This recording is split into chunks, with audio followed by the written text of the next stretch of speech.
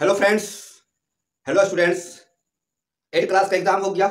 आठवीं बोर्ड समाप्त हो गया. तो आपके मन में विचार आता होगा कि हमारा हिंदी में कितना नंबर आएगा, अंग्रेज़ी में कितना आएगा, गणित में कितना अंक आएगा, संस्कृत में कितना आएगा सोशल साइंस में कितना आएगा साइंस में कितना आएगा. तो आपको, हमारे वीडियो से आपको पता चल जाएगा कि आपका कितना नंबर आने वाला है. परीक्षा में कितना नंबर आप ला रहे हैं. हम सभी प्रश्नों, जो क्वेश्चन दिया गया है, जो एक क्वेश्चन आया था परीक्षा में, उसका हम हल करेंगे, सभी प्रश्नों का हल करेंगे, और आप उसे जाँच लीजिएगा कि हमारा कितना कौन विषय में नंबर आया है। तो हमारे चैनल बने रहें, आइए देखिए कि आपका कितना नंबर आया।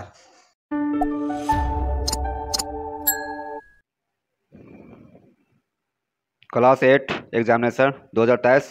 आइए, गणित कर लिए हैं, विज्ञान का आंसर देखते हैं। और इससे आपको पता चल जाएगा कि कितना सही हुआ। मिलान कर लीजिएगा और कमेंट बॉक्स में लिखिएगा कि आ, मेरा कितना सही हुआ? पचास में से है ना? पचास में से कितना आपका सही हुआ यहाँ पर आप दीजिएगा। इससे पता आपको चल जाएगा कि आप कितना सही किए चलिए विज्ञान का ये क्वेश्चन है। आप इसको देखिए। तो विज्ञान का जो क्वेश्चन है इक्यावन से लेकर सौ तक लिया गया है। तो इक्यावन क्वेश्चन है जिसमें से एक से पचास तक आपका मैथ का हो चुका है। और अब विज्ञान देख रहे हैं इक्यावन से सौ और एक सौ एक से हम देखेंगे डेढ़ सौ तक सोशल साइंस तो इक्यावन में क्वेश्चन है, गेहूँ की रस्ट किसके कारण होती है? तो उत्तर हो जाएगा कवक के कारण. दूसरा देखिए सूक्ष्म जीव कहाँ पाए जाते हैं? तो सूक्ष्म जीव सभी में पाए जाते हैं. जल में पाए जाते हैं, वायु में पाए जाते हैं और मिट्टी में. तो चारों, जो चार ऑप्शन जो है, वो सही होगा. और आ गया ये तिरपन है क्वेश्चन नंबर तिरपन. जीवाणु एवं कवकों के द्वारा अपघटित होने वाले पदार्थ कहलाते हैं। तो क्या कहलाते हैं? ऑप्शन नंबर पहला जे निम्न करणीय। उसके बाद है फिफ्टी फोर क्वेश्चन सोडियम को किसमें डुबाकर रखा जाता है? तो मिट्टी का तेल में डुबाकर रखा जाता है। आगे आइए फिफ्टी फाइव का क्वेश्चन देखिए किसी पदार्थ के दहन का सहायक होता है। तो क्या होता है? ऑक्सीजन। ऑक्सीजन के सहायता से ही कोई पदार्थ जलता है। दहन मतलब क्या होता है? जलना। आगे आइए। क्वेश्चन नंबर फिफ्टी सिक्स है। बर्फ़ पर चलने पर आप फिसल जाएँगे। क्यों?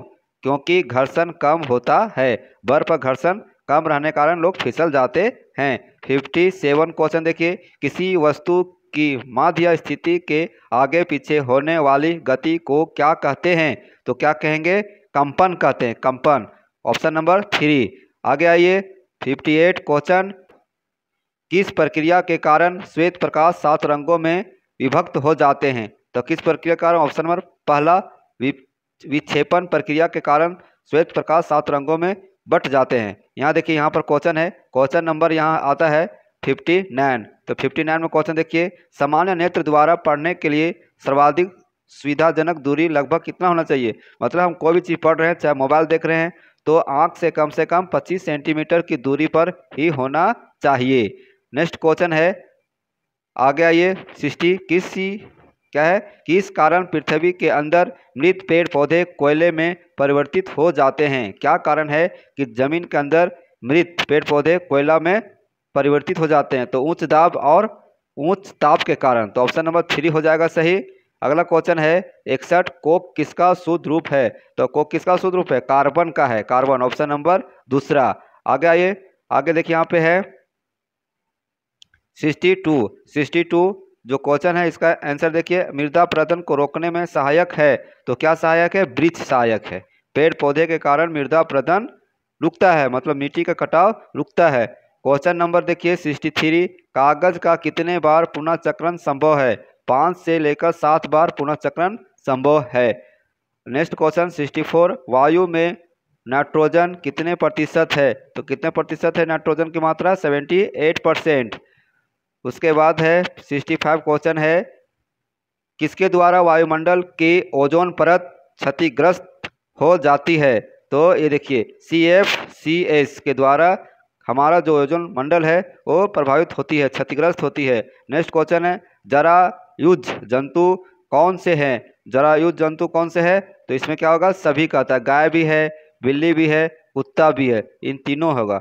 नेक्स्ट क्वेश्चन है सिक्सटी सेवन रेशम कीट का जीवन चक्र किस प्रकार होता है?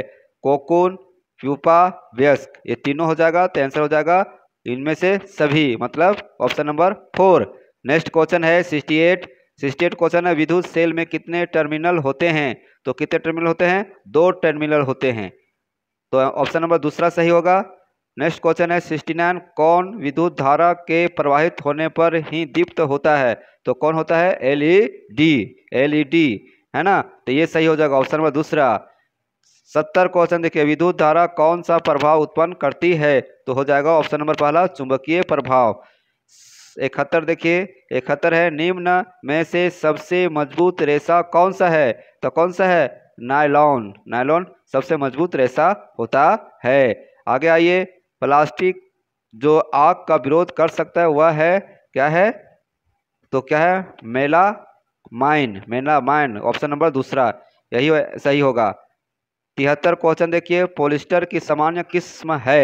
तो पोलिस्टर की सामान्य किस्म क्या है? टेरिलिन, ऑप्शन नंबर पहला। सेवेंटी फोर क्वेश्चन देखिए, प्रावर्तन कोण किसे कहते हैं? तो प्रावर्तन कोण किसे कहते हैं? यहाँ देखिए, प्रावर्तित किरण और अभिलंब परावर्तित किरण और अभिलंब के बीच का कोण को प्रावर्तन कोण कहते हैं? ऑप्शन नंबर थ्री, जो घेरा लगाया गया है, वो आंसर सही है। जो टिक लगाया गया है, वो आंसर गलत है। चमकीला पिंड कौन से है? चमकीला पिंड तारे हैं। तारे। अब आगे आइए सेवेंटी सिक्स क्वेश्चन मानव कान की श्रव्यता परास है। मतलब मानव जो कान है, वो कितना सीमा तक वह सुन सकता है? तो बीस हर्ज से बीस हज़ार हर्ज तक वह अच्छा से सुन सकता है। श्रवण सीमा है। आगे आइए। सेवेंटी सेवन क्वेश्चन है, ध्वनि की प्रबलता की माप की जाती है तो डेसिबल में ध्वनि की प्रबलता को मापा जाता है। क्वेश्चन नंबर सेवेंटी एट, प्राकृतिक आवास का वन्य प्राणी संरक्षण किया जाता है तो हो जाएगा इसमें अभ्यारण भी किया जाता है, राष्ट्रीय उद्यान भी किया जाता है जैव मंडल संरक्षित क्षेत्र तो इनमें से सभी, ऑप्शन नंबर चौथा। सेवेंटी नाइन है, सेवेंटी नाइन में है, भारत में राष्ट्रीय उद्यान की कुल संख्या क्या है? तो भारत में राष्ट्रीय उद्यान कुल संख्या हो जाएगा पचपन है। राष्ट्रीय उद्यान। आगे आइए क्वेश्चन नंबर एटी काला सोना कहा जाता है? तो काला सोना अब का पेट्रोलियम को कहा जाता है। ऐसा नहीं कि कोयला के मार देंगे, का कोयला को कहा जाता है काला हीरा। आगे आइए question number eighty one. Eighty one कहता है, चट्टानों पर चढ़ने हेतु रस्से बनाए जाते हैं। तो किससे बनाए जाते हैं? नायलॉन से। नायलॉन से रस्से बनाए जाते हैं। एटी टू, ए, एक ईंधन नहीं है। तो ईंधन नहीं है क्या? सीएनजी तो है। सीएनजी से गैस बनता है, चूल्हा जलता है, बायोगैस है एलपीजी है तो मृदा मिट्टी नहीं है। चलिए आगे आइए। क्वेश्चन नंबर एट्टी थ्री, निम्नांकित में कौन सा घोल विद्युत का कुचालक है यहाँ देखेंगे ये क्वेश्चन जो है, जो आपका ऑप्शन है वो सस्पेंस में है है ना? इसमें जो आंसर हम बोल सकते हैं तो ये आंसर इसमें से कोई नहीं होगा, और नहीं तो सब होगा। तो यदि आप इसमें से कोई भी दाग लगाए होंगे तो आपको मिल जाएगा नंबर। चलिए आगे आइए। एटी फोर, कौन सी गैस अत्यंत विषेली है? विषेली, कार्बन मोनोक्साइड गैस बहुत खतरनाक होता है। आगे आइए, एटी फाइव एटी फाइव, निम्नलिखित में सबसे छोटी कोशिका है तो क्या है? सबसे छोटी कोशिका है माइक्रोप्लाज्मा, ऑप्शन नंबर पहला। उसके बाद है एटी सिक्स।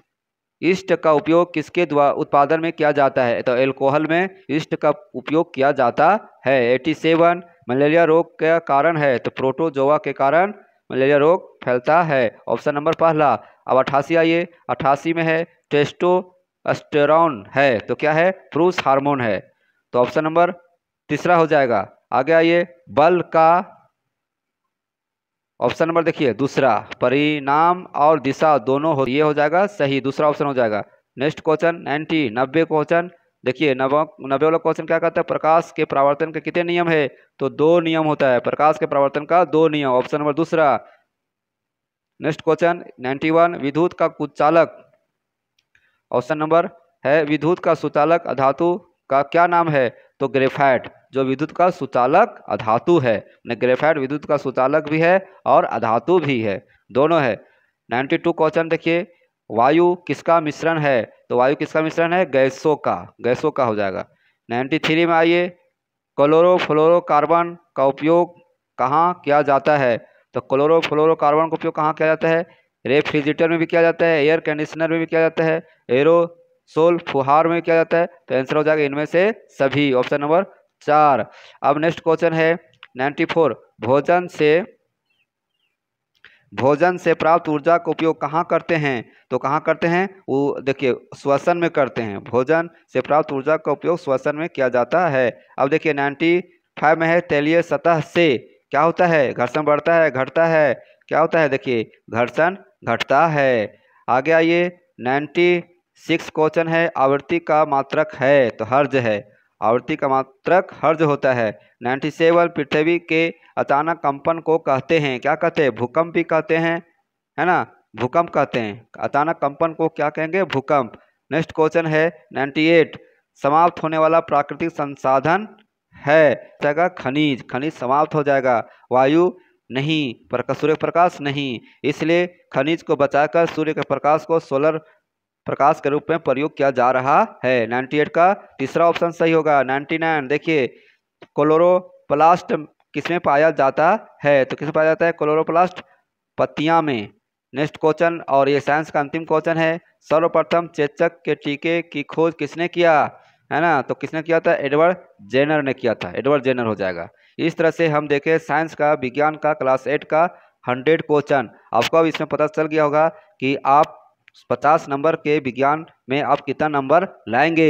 आपको समझ में आ गया होगा, है ना? तो आप बढ़िया से देखिए, पढ़िए, समझिए और अपने आंसर को मिलान कीजिए।